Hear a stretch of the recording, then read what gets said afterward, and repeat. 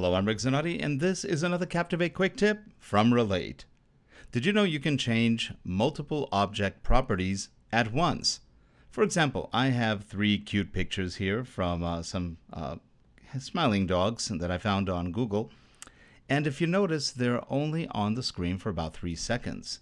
If I run this, I'll press F4. They show up, and at before three seconds are up, they're gone.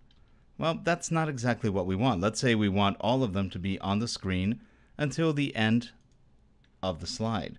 I'm going to select all of them, and then I'll right-click on any one of them. I'll right-click on this one, hit Properties.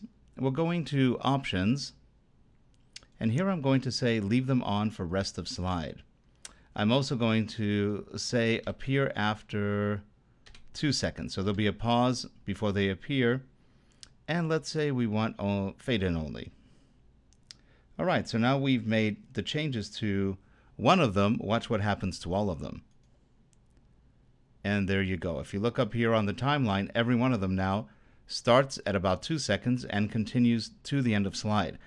Otherwise, we would have had to do this to every individual object. So we were able to do multiple objects with one change, which is great. That saves a lot of time, especially when you're formatting captions, text, positioning, uh, images. It's a nice uh, trick. Let me run um, the preview again. And you notice it does a two second delay. They show up and they stay on to the end of the video. These guys are just so cute too.